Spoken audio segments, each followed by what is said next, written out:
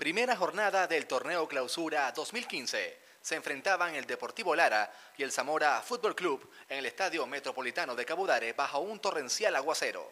Partido muy trabado en todos los sectores del campo y que termina con empate a uno. A continuación, escuchemos a los protagonistas y veamos los goles. Nos dimos el gusto de jugar con dos juveniles en cancha. Lateral izquierdo que debuta, Soteldo. Yo creo que fueron de muy buen partido y creo que el sacrificio que hicieron los muchachos durante la pretemporada, que hubo poco, descanso en la fiesta navideña, dio sus frutos y contento por, por el del equipo, que un equipo que trató de jugar fútbol, que no nos encerramos y, y muy positivo pues el, el, punto y esto nos sirve para seguir en la racha de ocho partidos sin, sin conocer la derrota. Ellos consiguen un gol en los momentos que teníamos el partido totalmente controlado, sabíamos la peligrosidad de los jugadores altos de ellos, no supimos controlar esa jugada, pero gracias a Dios eh, reaccionamos rápido y, logramos el empate. Tuvimos opciones, igual ellos, pero creo que eh, en el análisis general del partido creo que hemos podido merecer un poquito más, pero contento porque, eh, vuelvo y te repito, no trajimos arena, Murillo en la selección, Clara está en recuperación, tres, cuatro jugadores que son muy importantes y pues el equipo nos desentonó. No, estamos contentos de poder sumar de a uno. Eh, no se perdió, que era lo, que es, eh, lo importante. Pero bueno, rescatamos que el grupo se entregó, se sacrificó en la cancha y podemos conseguir este resultado. ¿no?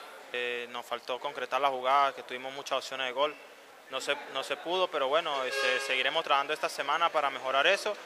Pienso que si corregimos eso, vamos a, a lo largo del camino, vamos a tener buenos resultados. Tornó muy rápido el juego después que empezó a llover, pero en el primer tiempo mantuvimos el control de la pelota por momento del partido y bueno, me pareció que ellos nos presionaban allá, adelante, y entonces ahí se crean los espacios para nosotros y podíamos contraatacarlos, ¿no?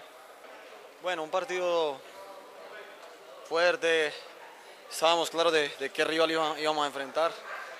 Lara, sobre todo en casa, se hace muy fuerte, terminó muy bien el semestre anterior. Y por ahí nosotros tenemos varias bajas, Ovalle, eh, Arenas, Murillo, que, son hombres importantes para nosotros. Y siento que, al final fue un, resultado justo. Eh, los dos equipos entregaron lo que tenían, nosotros entregamos lo que teníamos. Hicimos todo, pero, pero bueno, siento que fue un resultado justo y bueno, nos vamos contentos a casa, no conformes, pero, pero sí eh, veo el equipo bien, sobre todo en lo táctico y en lo físico muy, muy bien. De que por ahí en la contra nos faltó ser un poco más claros, eh, sobre todo el primer tiempo. Eh, generamos varias contras, tenemos gente rápida, nos faltó ser un poco más claro a la hora de, ir al frente.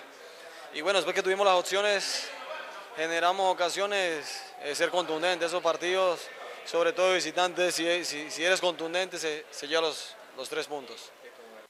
El siguiente encuentro del Deportivo Lara será como visitante ante el Deportivo La Guaira el 17 de enero. Desde Barquisimeto les reportó Alejandro Menéndez, Noticiero Meridiano.